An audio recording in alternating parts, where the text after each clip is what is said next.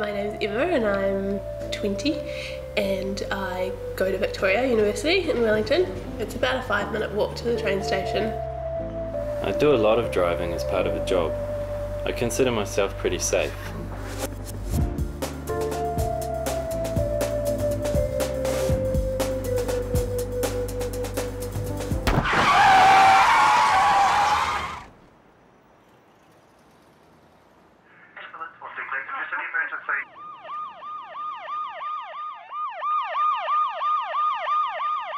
I just didn't see her.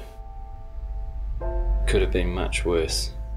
Well, I was um, the second unit at the crash scene. I was tasked with identifying a driver, making sure Emma was being seen to.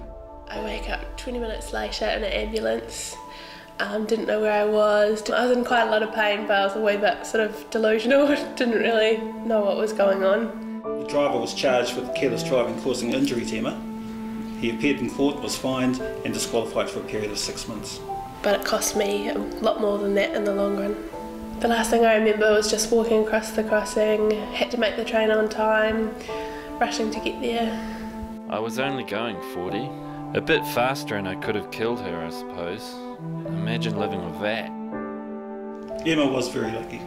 Calculations show that he was travelling between 37 and 39 kilometres an hour in a 50 kilometre area.